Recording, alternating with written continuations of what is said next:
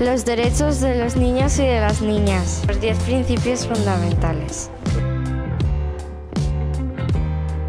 Nos deben proteger contra el maltrato, em, el abandono y la explotación laboral.